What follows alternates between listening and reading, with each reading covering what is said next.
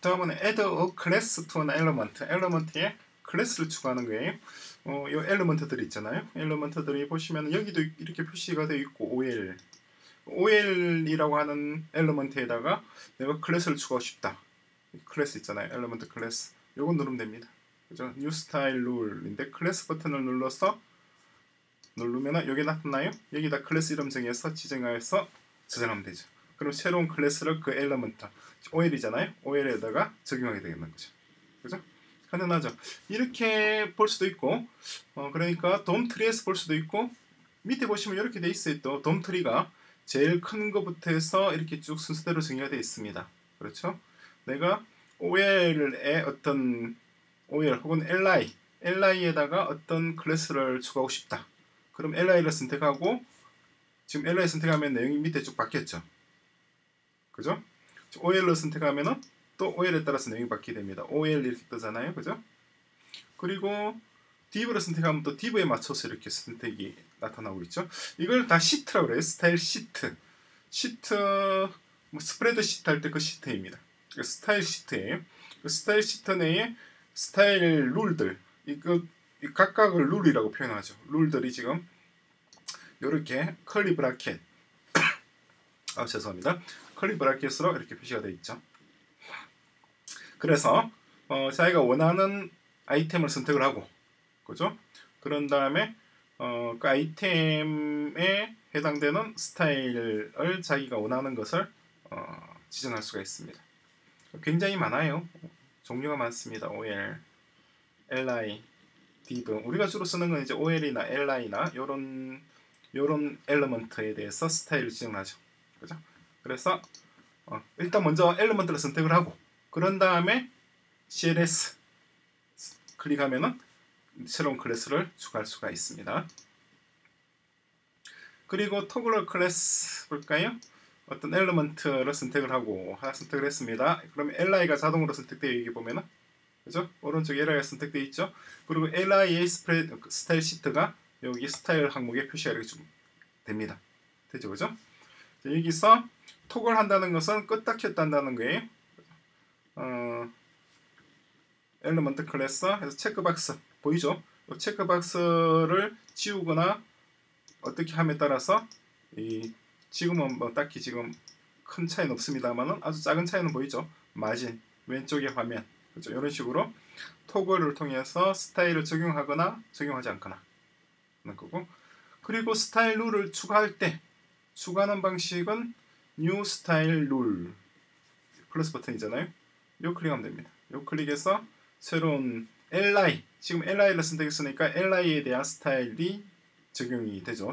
새로운 규칙 규칙이 적용이 되고 내가 만약에 OL이라 그러면은 OL에서 이걸 클릭하면은 OL에 대해서 새로운 스타일 규칙이 적용이 됩니다. 그죠? 보이시죠? 음. 아 이건 필요 없는 건데 제가 지우는 방법을 잘 모르겠어요. 저도 딱히 자주 쓰는 건 아니라서 어 그리고 다시 지금 어쩌다 보니까 소스로 넘어가 버렸습니다. element로 다시 넘어갈게요. 넘어왔습니다. 나중에 여기 console이라든가 performance라든가 이런 것들 다 보게 될 겁니다. 일단 element만 보죠. 그래서 어, 스타일 룰을 추가하는 방식은 플러스 버튼을 누르면 된다는 거. 이 버튼입니다. 오른쪽. 그리고 클래스가 지금 열려 있네요. 닫고. 그리고 어떤 스타일 시트에다가 룰을 추가할 것인지 선택을 하는 것이 제일 먼저입니다. 그죠? 그러니까 스타일 시트는 여기 있는 이게 스타일 시트들이에요. 보이죠? 제 마우스 움직이는 거 여기 각각의 시트입니다. 그죠? 시트를 선택하고 그런 다음에 스타일 룰, 룰 버튼을 클릭해서 새로운 룰을 적용하는 거예요. 그리고 특정한 장소에다가 룰을 추가하고 싶다. 그죠?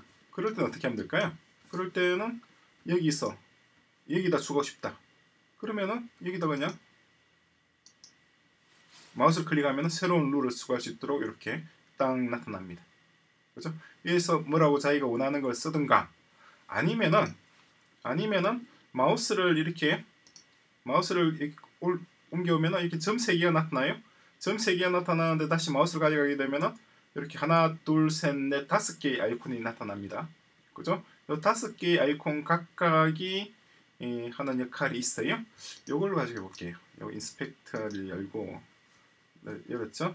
그다음에 여기다가 어, 요걸 해서 텍스트 해서 이렇게 했습니다.